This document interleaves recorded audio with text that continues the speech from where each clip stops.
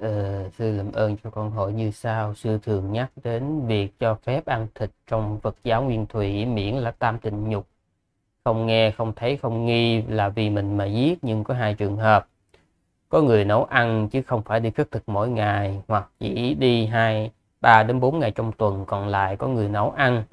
Thì khi có người nấu cho mình ăn, làm sao mình biết có thể không nghi rằng họ vì mình mà giết, vì việc họ nấu cho mình ăn rõ ràng là có ý vì mình rồi.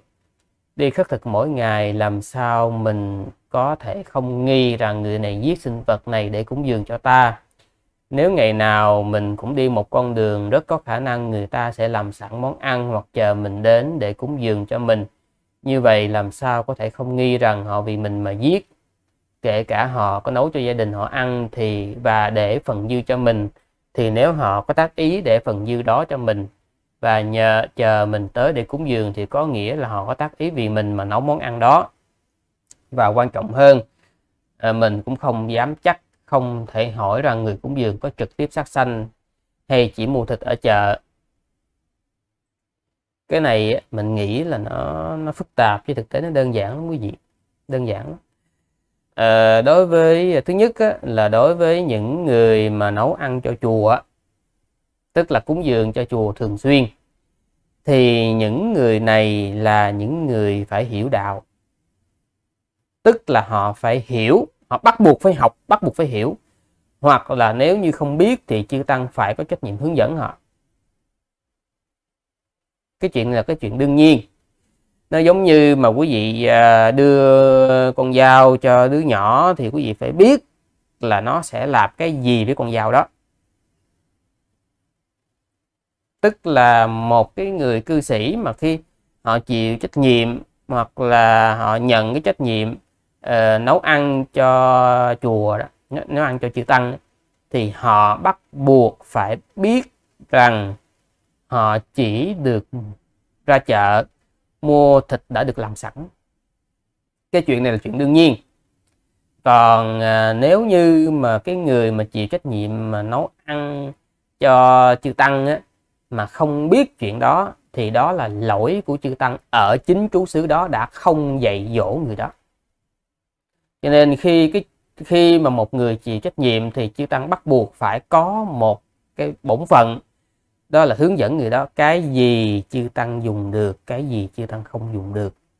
Và khi đi chợ hoặc là khi làm các cái cái cái ờ, ờ, uh, vận sự á, phải lưu ý những cái chuyện gì? Đó là chuyện đương nhiên.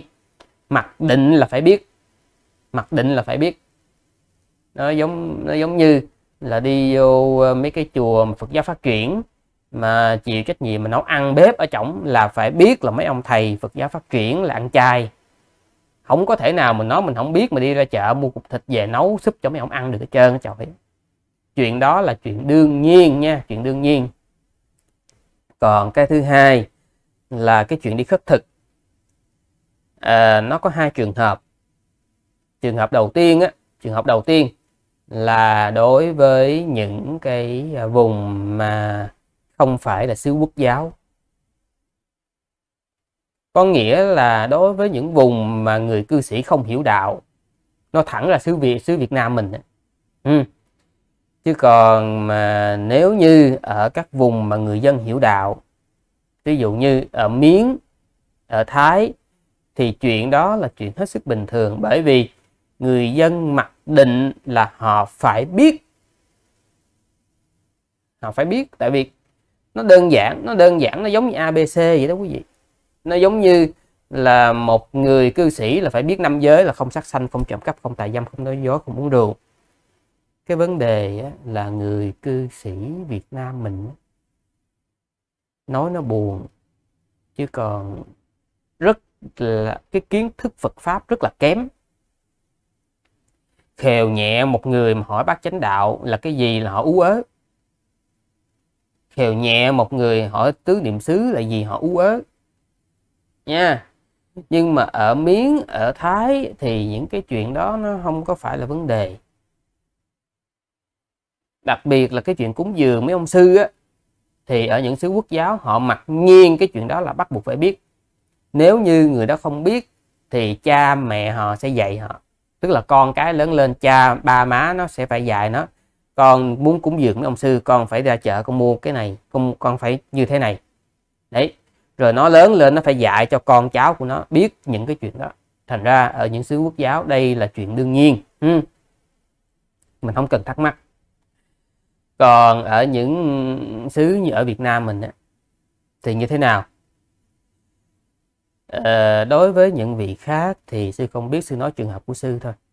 Sư chỉ nói trường hợp của sư thôi sư không bao giờ một con đường mà sư đi liên tục trong hai ngày. Ai khi mà sư đi bác á, sư, sư đi khất thực. Phật tử phật tử mà mà biết sư là họ biết. Cái đường sư đi ha, không biết được đâu. Không biết được đâu. Hôm nay sư đi đường này hôm khác sư đi đường khác. Trong một cái khu vực mà quanh cái ngôi chùa Nam Tông này đó uh, sư đi sư chia ra sư chia ra tổng cộng có 5 con đường. Có 5 con đường đi đi và về ở, ở khác nhau nha. Tức là khi đại sư đã đi cái con đường đó rồi là khi mà sư đi thì sư sẽ không về bằng con đường đó.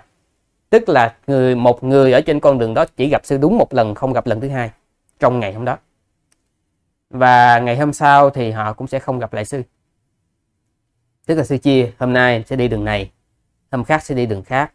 Và sư sẽ không cố định. Ví dụ như thứ hai là đi đường này thứ ba đi đường kia. Không có. Không có. Sư xáo trộn một cách ngẫu nhiên. Xáo trộn một cách ngẫu nhiên ha? À, thành ra là người ta sẽ không biết được là ngày hôm đó có ông sư ông đi ngang qua hay không để cúng dường. À, không biết. Còn cũng có trường hợp ngoại lệ ngoại lệ như thế nào? Có nghĩa là một số à, phật tử mà thân cận á thì họ biết họ biết thành ra họ đón đầu họ đón ngay trước cổng chùa kiểu đó. Thì những người phật tử đó mặc nhiên họ phải biết phải biết cúng dường. Ờ, trong sư là cúng dường tâm tình nhục và à, ra chợ phải mua cái gì. Và xin thưa là ngay cả những phật tử đó sư cũng đã hướng dẫn rồi. Ừ thành ra không phải lo. Tức là không thể nào có chuyện một người ở ở cái cái cái cái, cái chú xứ của sư đó không thể có chuyện một cái người bình thường một người bình thường ờ, biết được hôm nào ông sư hạnh tuệ ông sẽ đi ngang. Mà nếu như ông đi ngang thì ông chỉ đi ngang đúng một lần thôi hoặc là trên đường đi hoặc là trên đường về.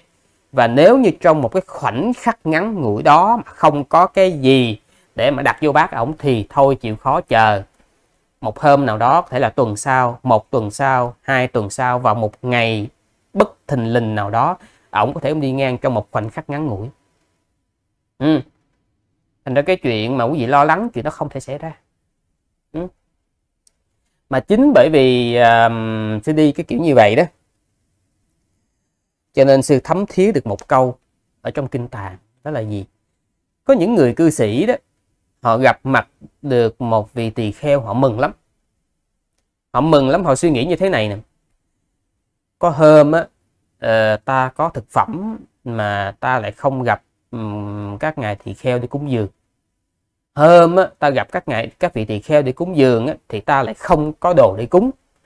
Ngày hôm nay thiệt là nhiều phước đức cho ta khi mà ta vừa gặp được các ngài mà ta cũng có cái để cúng dường chính bởi vì như vậy họ rất là hoan hỷ để họ đặt bát cúng dường. Thì khi mà một cái um, một cái gì mà nó khó được thì người ta mới thấy quý thấy hiếm. Đấy à, thành ra là quý vị không cần phải lo cái chuyện đó ha.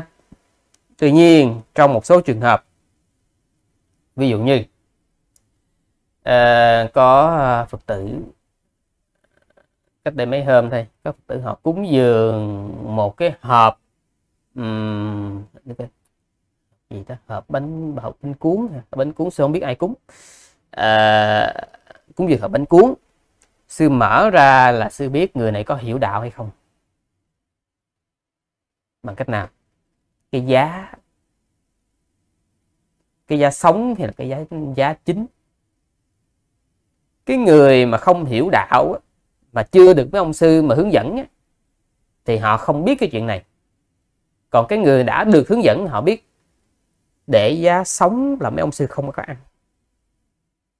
Tại vì giá sống là thực vật còn có sự sống còn mầm sống thì mấy ông sư không có ăn. Mà cái này sư giám cá là hầu hết hầu hết uh, phật tử uh, các cái chùa phát triển thì họ không biết chuyện này. Ờ, và cao hơn nữa thì cũng một số vị tu sĩ ờ, Phật giáo phát triển cũng không không để ý cái chuyện này. Đấy. Nhưng mà có mở cái hộp ra ra là biết cái người này có hiểu đạo không? Hiểu đạo tiền ừ. rồi quý vị không biết một chuyện nữa là khi mà ngay cả cái chuyện mà cúng dường á, cúng dường kẻ tăng nhìn vào cái nhìn vào cái dĩa trái cây đi, là biết là người này có biết đạo hay không biết đạo. Tức là gì cái người biết đạo á, họ sẽ làm hợp lệ. Còn cái người không biết đạo á trái cây nó làm sao để nguyên y chang vậy? Họ không biết làm hợp lệ. Thì trong những trường hợp đó thì mình sẽ có sự đề phòng. Ừ. rồi như một số trường hợp nữa, ví dụ như cái canh nghêu là sư không có ăn à, canh ốc nghêu ốc của những người mà sư không biết là sư không ăn. À, tại sao? À, đương nhiên là siêu thị nó cũng có bán cái nghêu mà cái kiểu uh, nghêu đã làm sẵn rồi con nghêu nó chết rồi. Nhưng mà cái kiểu mà nghêu mà còn nguyên vỏ đó ai cũng biết là như thế này. Đâu có ai mua nghêu chết. Nghêu còn nguyên vỏ mà bán ở ngoài chợ thì nghêu chết người ta sẽ không có mua bởi vì nghêu chết nó ngậm miệng lại đó mà nó sẽ thối. Mà nếu như mình đem cái nghêu chết đó mà mình nấu á, thì nó nó sẽ thúi luôn cả cái nồi canh. Cho nên là khi mà sư thấy cái nồi canh múc lên mà nghiêu có nguyên vỏ mà sư nhìn cái con người này cái người chưa được hướng dẫn qua là sư bỏ sư không có ăn thành ra là trong tạng luật có cái chỗ như thế này vị tỳ kheo khi mà nghi ngờ cái món ăn này không hợp lệ thì một là vị đó hỏi hai là vì đó không có ăn. Cho nên cũng có trường hợp á ví dụ như trường hợp à, sư thấy sư đi đến à, nhà cư sĩ họ cúng dường trai tăng trong đó có cái cái có món tôm có món tôm mà sư không chắc. Sư hỏi à?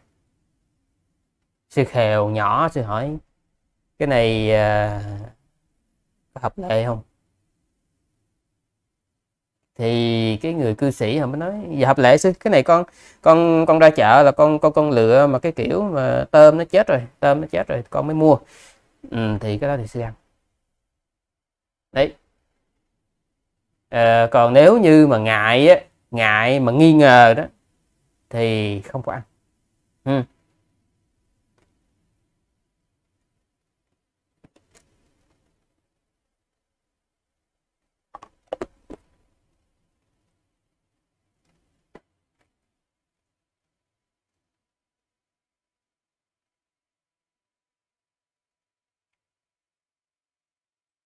Đấy, cho nên là những cái trường hợp mà quý vị nêu ra trong đây là những cái chuyện nó không thể nào xảy ra được ha.